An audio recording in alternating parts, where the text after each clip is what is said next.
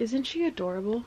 The reading rush is about to start in about 10 or 15 minutes and I figured I'm probably not gonna stay up very late because I'm tired. But that's fine. I'll start in the morning. I just want right now to share with you my TBR for the reading rush. Now there are four challenges um, for the reading rush and I've got my books selected so let me share them with you.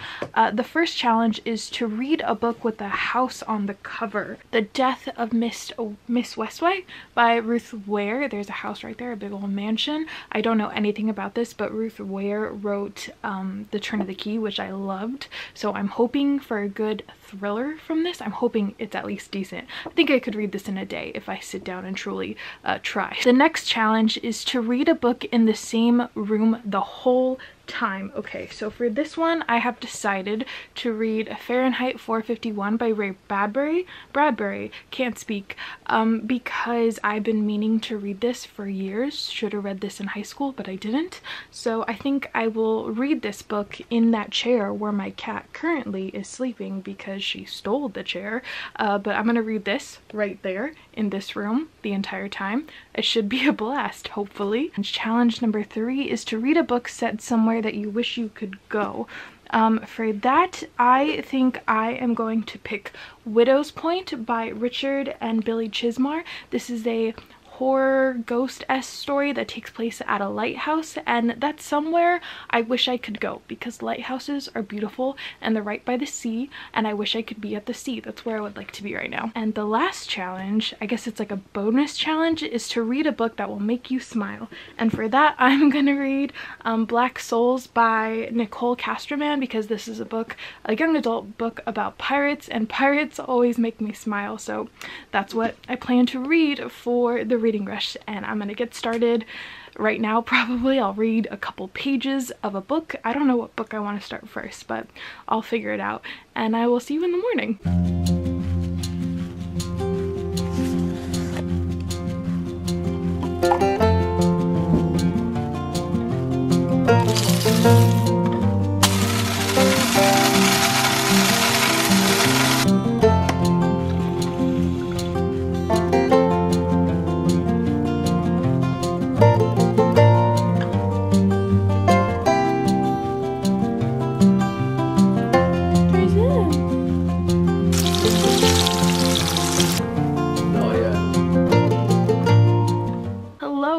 Now around 4 in the afternoon on Thursday and I have read 210 pages of The Death of Miss Westaway by Ruth Ware and I still have uh, maybe like 160 or 70 pages left of this book but I think if I keep reading I will finish it by the end of today and that is my goal. So hopefully that happens. I don't think i told you anything about this book but this is a thriller that follows a young girl. Her name is Hal. She's early 20s and she gets a letter in the mail that her grandmother passed away and in her will she's supposed to be receiving something but the problem is that Hal as far as she knows her grandmother who she never met passed away 20 years ago. So she feels that there's some sort of confusion and that the letter was written to the wrong person.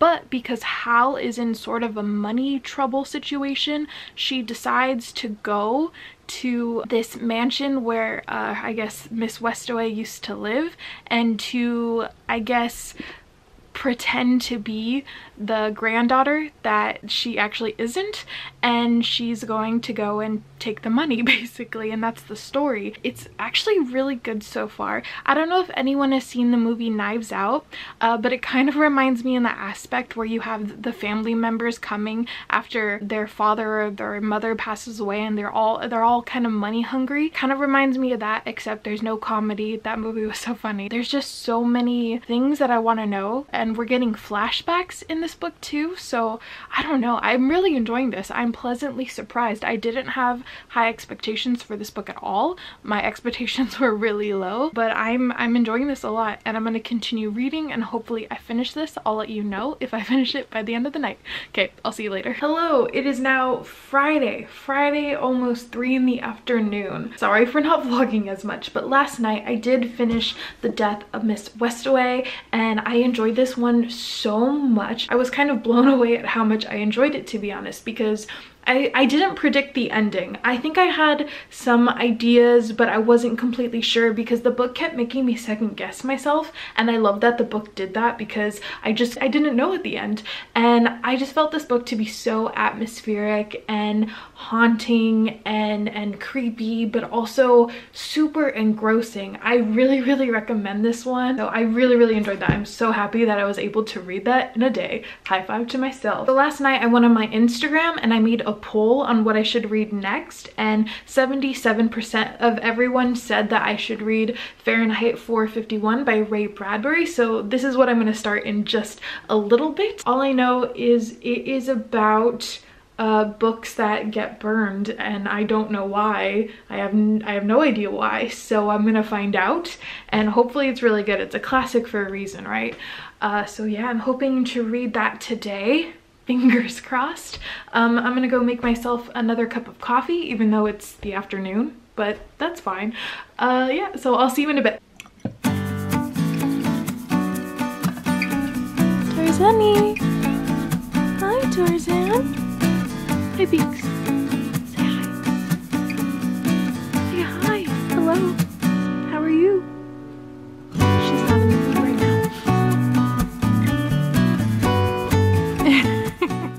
So it's now Saturday around noon. I stayed up till 2 in the morning yesterday, last night, reading Fahrenheit 451 by Ray Bradbury. I didn't really pick it up till later in the afternoon, and then I couldn't put it down. I kept reading. I should have gone to bed, but the last I want to say 60 to 80 pages. I just, I had to keep reading. So I just stayed up and I read. And this book was so, so good. Now I understand why everyone tells you to read Fahrenheit 451. This book is a dystopian set in a, I guess like a future society where all books have been burned. If people are hiding books, they will get in trouble. They will be killed. And most of the people nowadays in this book are kind of robot-like in the sense that they're just so yeah, they're just you know? And our main character in this book, his name is Guy Montag, I believe, and he's a fireman. And normally you think a fireman is someone that puts out fires, but the firemen in this book are people that set fires. So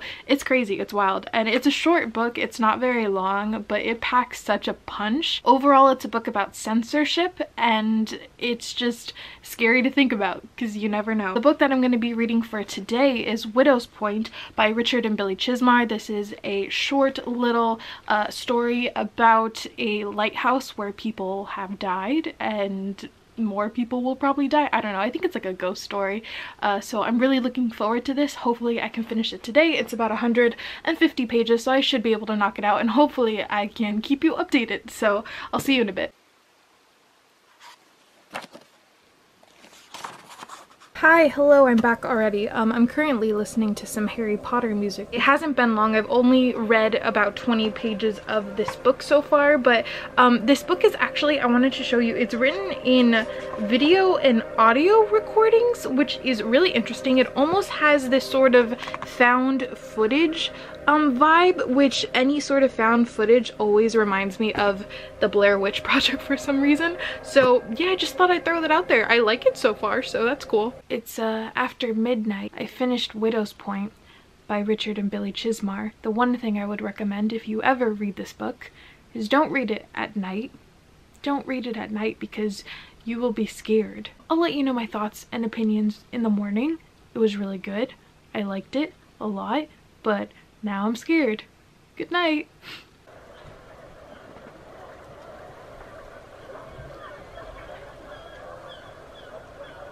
So it's now the final day of the reading rush. It is Sunday. Last night, I believe I told you that I finished Widow's Point by Richard and Billy Chizmar. Uh, if you enjoy horror, if that is your thing, you need to pick this up because it's so good. It will hook you in. It's written in a video audio recording style so it's very uh, the Blair Witch Project-esque but it still holds its own I think and it's just it's so well crafted and I love it. The setting is perfect and it just makes you slowly feel claustrophobic and weirded out. If you're a fan of ghost stories that take place in a haunted house, if you like that sort of story, you will love this. I loved it. It scared me, probably because I read it at night. I don't know if it'll scare anyone if they read it during the day, but during the night, not the best idea. So I really, really like this. Um, one of my new favorites. And the last book that I'm going to attempt to read today is Blacksouls by Nicole Castroman. This is the sequel to Blackhearts, which is a young adult book about pirates uh, focusing on Blackbeard on his like prequel story, I think. And so I'm hoping to read this today. It is about 400 pages, so it is on the longer side, but I'm thinking if I focus, it's already 12 o'clock, so we'll see how much I get done. But if I really try, I'm hoping I could finish this at least before midnight. We'll see. Say hi!